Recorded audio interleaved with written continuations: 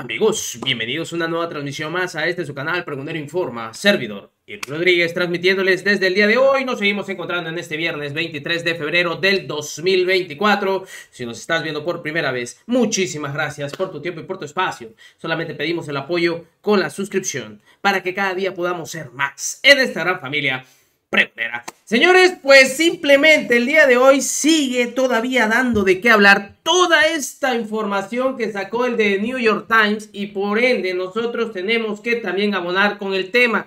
Un tema que ha sido simplemente utilizado como una guerra su, eh, burda, absurda, guerra sucia por parte de la oposición para poder o querer levantar a la candidata Xochitl Gales de veras que son tan evidentes que hasta para eso son dejos. Porque en las redes sociales, que es lo único que les queda para poder influir en las próximas votaciones, por el número de votantes jóvenes que irán a las urnas este junio.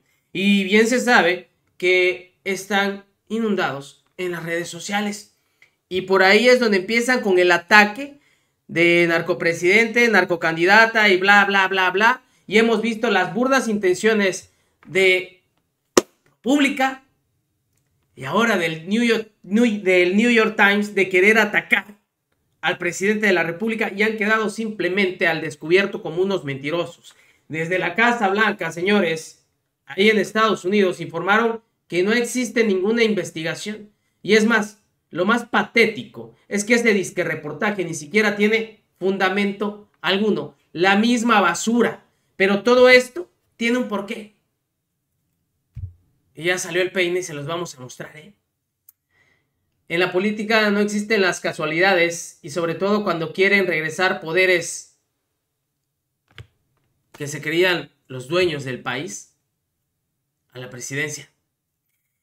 Pues en esta entrevista volvió a, salir, que bueno, eh, también Alcázar, excelente actor, y de igual forma, como ciudadano, dice las cosas de frente. Y ante esto que está sucediendo, vuelve a callar a toda esta derecha con estas palabras y en entrevista con Vicente Serrano.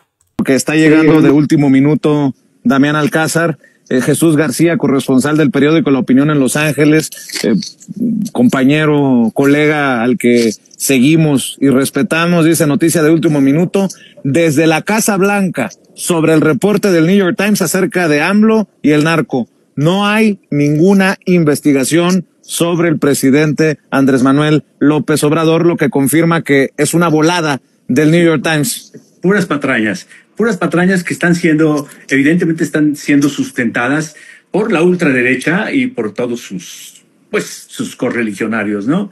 La gente de muchísimo dinero, los que perdieron privilegios, los que tienen que pagar impuestos y antes evadían todo lo que podían y se los permitían. Es eso, es esa, ese pequeño grupo realmente es la oposición y quieren, por medio de mentiras y por medio de toda esta campaña sucia, hacer lo que no pueden hacer con la gente, convencerles proponiéndoles algo tan atractivo, por lo menos, o mucho más atractivo de lo que la cuarta transformación les está dando a los mexicanos.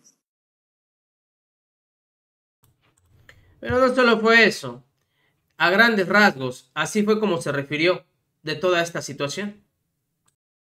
Gente que no le pueden llegar, pero ni a los talones, todos estos que están inventándose tamaña cosa. Claro, todos sabemos que, vienen las elecciones y por ahí algunos eh, malintencionados o malas personas dicen que todo se vale.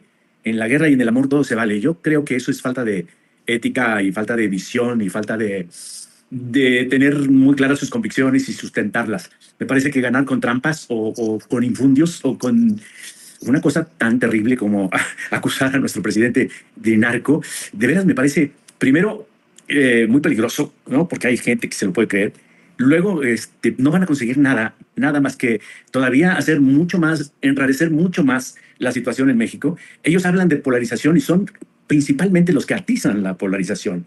Estamos en temporada, viene ya la, época de elecciones. Eh, el pueblo, realmente la gente, los trabajadores, saben muy bien cómo les fue este sexenio y no van a permitir ni van a dejar que verse eh, manipulados por estos infundios, ¿no? Es una campaña espantosa y como bien dicen, ¿no? millonaria campaña. Habría que ver de dónde sale ese dinero. Porque el narco, pues ya sabemos, el narco fue el anterior gobierno, sin lugar a dudas, sin lugar a dudas. A ver qué ocurre. Creo que, que no van a conseguir nada. El problema, lo peligroso es que en los Estados Unidos, pues esto siempre es una espiral en donde de repente las ideas libertarias asoman y luego nuevamente el conservadurismo y el neofascismo y ese tipo de cosas asoman. Y entonces hay unas oleadas.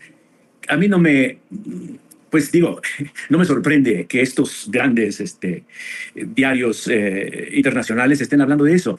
Eso empezaron a hacer los periodistas de alto, eh, bueno, pedorraje. Que se asome, que se asome sí, de alto pedorraje mexicanos, ¿no? Como Krause, como Aguilar Camín. Por supuesto que están conectados con otros muchos jornalistas que eh, les piden, mira, públicame esto, y, y, se empieza a hacer, se empieza a generar una sombría eh, campaña de falsedades eh, y además con, con, con, el objetivo principal de infundir el miedo en, en la gente, eh, en la gente de los Estados Unidos, en la gente que, que estamos atentos a, a, a los cambios que está, están ocurriendo en nuestro país. En fin, sí resulta peligroso a la larga.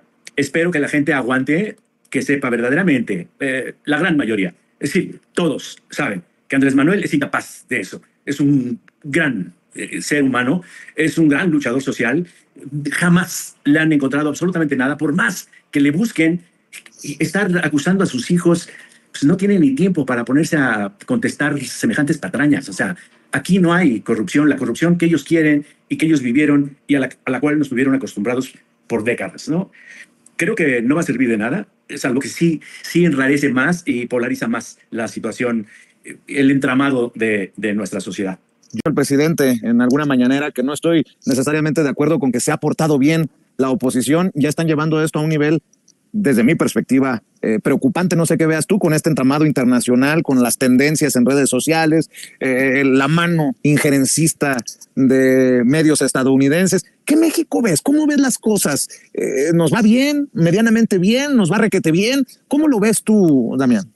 Yo creo que las cosas están muy bien para la gran mayoría de los mexicanos, sobre todo a los que siempre se les tenía olvidados y les iba muy mal.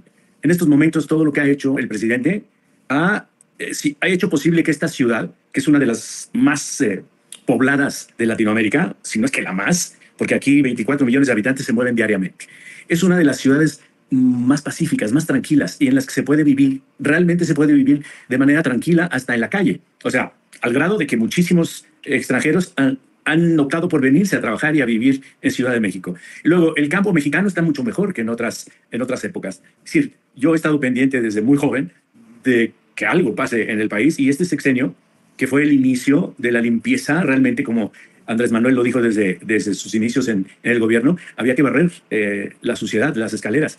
Y, y se está consiguiendo. Necesitamos dos sexenios más.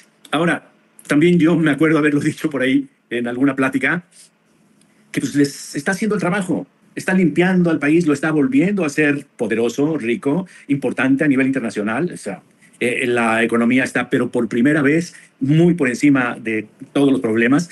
El peso es la moneda más fuerte o una de las más fuertes frente al dólar. O sea, les está limpiando todo. Y pues esto es una espiral normal vamos a tener dos, un sexenio más, dos sexenios más con este tipo de, de, esfuerzo por reconstruir al país y luego van a tener otra vez el campo libre para que entren. Mientras no tengan una buena opción, una estrategia que mostrar al pueblo mexicano, van a perder por más basura, por no decir shit, que le pongan a su campaña negra, oscurísima, indecente. Eso es una cosa que, que es indecente y eso suena, aparentemente suena muy chabacano, pero, pero eh, la decencia del ser humano le permite eh, el compartir momentos y lugares con los otros seres humanos. Si no hay decencia, entonces hay todo lo contrario, ¿no? Claro. Hay podredumbre, hay este, venganza, hay envidias, hay egos y, y eso es lo peor que tiene esta eh, oposición. Cuando la oposición debería ser tan fuerte, tan eh, inteligente, con una propuesta clara para, para el pueblo mexicano, para el país, y entonces podríamos decir, necesitamos, realmente necesitamos una oposición a ese nivel para que entonces sí podamos vivir y, y discernir sobre lo que es la democracia participativa.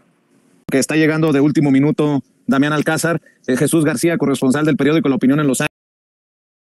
No, bueno, pues es que las cosas como son, señores, y así es como van a actuar estos miserables. No van nunca a aceptar que las cosas se están haciendo bien. Y uno no dice, tampoco hay que exagerar, que todo está de maravilla. Hay cosas que se pueden mejorar y cosas que se tienen que mejorar. Pero de que está cambiando el rumbo del país, está cambiando. ¿Qué quieren? Que regresen los mismos de antes y vuelvan a hacer lo de antes. No, pues qué cambio. Se merece una continuidad. Y eso es lo que se está viviendo y eso es lo que quiere la mayoría de la gente. Tengan, tengan, para que aprendan. Y ni con sus ataques van a poder derrumbar la transformación del país. Porque las bases, las bases ya se sentaron. Señores, recuerden, la información está ahí. Y depende de todos nosotros eh, pregonarla. Nos vemos en una siguiente emisión.